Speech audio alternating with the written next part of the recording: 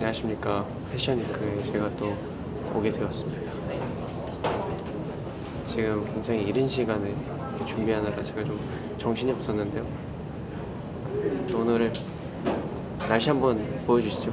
이 날씨가 좋지 않습니까? 작년에 이어서 이번에도 또 파이팅해서 좋은 그런 결과물 한번 만들어 보도록 하겠습니다. 파이팅!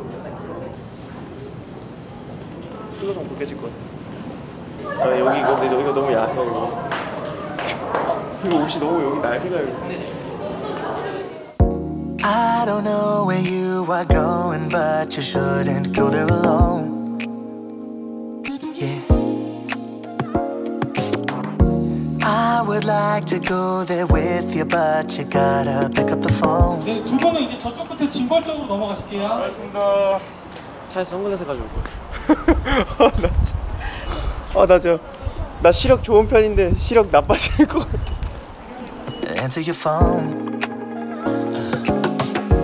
I just don't know what you need. But I'm not gonna stand out here all day and watch you slip away. I'm not going to beg or plead. But if we can't communicate, 눈이 멀 것 같아요 아 앞이 안 보여. 눈을 희생해서라도 잘만 나오면 좋겠다 싶었는데 너무 잘 나오는 것 같아서 너무 좋고. 갑자기 한승우 씨의 노래가 생각나네요. Sacrifice.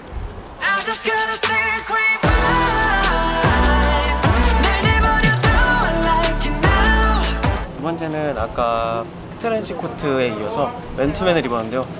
이 맨투맨의 디테일은 바로 여기 숨어 있습니다. 보시면 보이시나요? 빅톤 있고 이렇게 제 이름이 있습니다. 이렇게 제작해 주신 또 선생님의 또 의미가 이렇게 모델로 서지만 아이덴티티는 또 빅톤이고 가수이기 때문에 본분을 잊지 마라라는 의미에서 이렇게 두 개를 주셨는데 너무 감사하고 제가 이거 나중에 받아가기로 했거든요. 그래서 이거 제가 또 잘 사용하도록 하겠습니다. 두 번째 착장도 한번 화이팅 해보자고요. What you need is a way to escape all the crazy commotion. Could you please find a way to of emotion? I know we're gonna be okay if you don't keep pushing me away. You got me weak by the way you the of devotion. Hey, hey. I'm not trying to convince you, but I'm pretty sure you're the one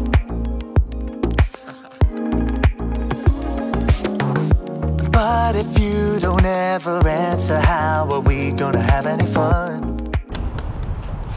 사실 제가 아까 그 코트 입은 거를 사실 인스타 스토리에 살짝 공유를 해봤는데 다들 어떤 반응인지 정말 궁금하더라고요. 근데 많은 분들이 역시 기대해 주시는 것 같고 또 두 번째 착장은 조금 더 다른 음, 좀더 청량한 느낌으로 돌아왔으니까요. 다들 많이 사랑해 주세요. 그럼 인사하겠습니다. 지금까지 빅톤의 찬이었습니다. 여러분 감사합니다. 패션위크 수고 많았어요.